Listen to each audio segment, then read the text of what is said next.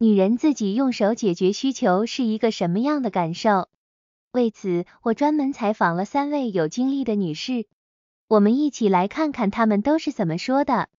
第一位思杰今年三十八岁，她说，因为一些乱七八糟的工作原因，我跟我那个所谓的老公就成了那种见一次少一次的关系。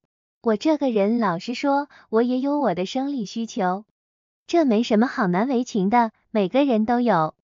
那怎么办呢？除了自己用手解决，我实在是想不出有什么其他的好办法。你总不能让我去找别的男人解决吧？那不就成了出轨了吗？可是你知道吗？当我自己解决的时候，我体验到了那种从未有过的快乐，那种只属于自己的快感。一旦你尝到了，那种感觉就会停不下来。起初我一个星期自己能动手解决二至三次，那个时候我还能控制住自己。然后我开始每天都想要，再然后我一天就要自己解决三至四次。每次我那个所谓的老公回家，他总是想跟我亲热亲热，但是我对这一点兴趣都没有。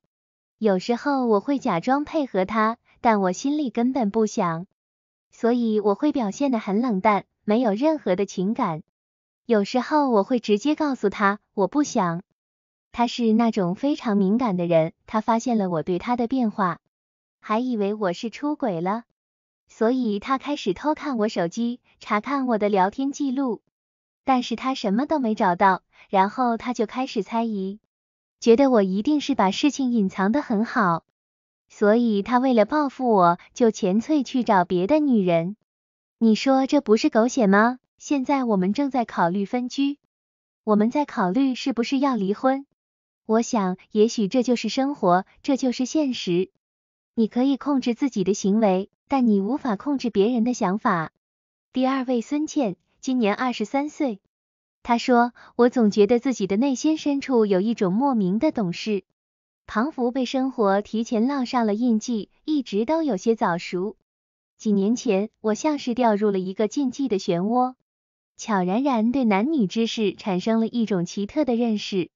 这个过程的来龙去脉，我自己也记不清了，好像就是在一瞬间，我意识到了，原来我还可以自己解决需求，那就像是打开了潘多拉的盒子，让我尝到了一种只属于我自己的独特快乐。就好像是站在沙滩上面对大海，享受着海浪一次次的冲击，那种快乐很快让我上瘾，让我无法自拔。而我自己解决需求的频率就像是潮水一样，一波接一波，无法抵挡这种持续的自我解决需求的行为，让我感到了身体的疲惫，我无法再集中精力去学习，我的大学学业如落叶一般一点一点下滑。我的父母看到我学习成绩的下滑，他们着急，他们困惑，但却不知道问题出在哪里，他们无从下手。后来我发现自己的身体开始出现了问题，我的例假开始乱了，一次、两次、三次，有时候整整一个月甚至两个月都没有来。我心里害怕，不敢告诉我妈妈。可是后来问题更严重了，我感到下体的不适。我感到自己的精神状态越来越差，仿佛整个世界都在往我身上压。在反复的犹豫之后，我决定告诉我的妈妈，我准备好了面对妈妈的责备。但是当妈妈听到我的陈述后，她并没有责备我，她没有冲我大吼，只是安静的问我为什么不早点告诉她，然后带我去了医院。现在我不能说我已经完全改变了。我不能说我已经恢复了正常，但是我可以说我在慢慢的变好，我在慢慢的找回我自己。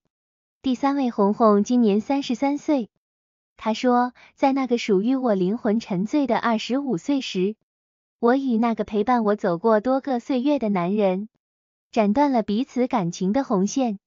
自那以后，我像一直浮萍，随着生活的流水划过无数孤寂的岁月。这场独自演出的孤独剧，唯一能够解决我身体中呼之欲出的欲望的，只有那种独自的自我抚慰。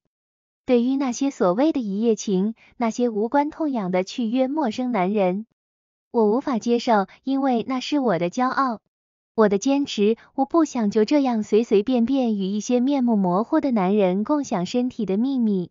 那些人是人还是鬼？我觉得自己用手解决需求是最安全的，没有任何风险，没有任何后果。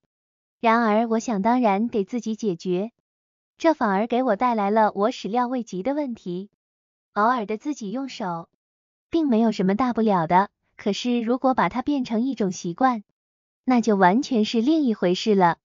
因为经常忍不住，所以我频繁的用手攀登高峰，让我遭受了无数次尿路感染的折磨，还引发了让我痛苦不堪的妇科炎症。这些都是那些我以为安全的自己解决给我带来的痛苦。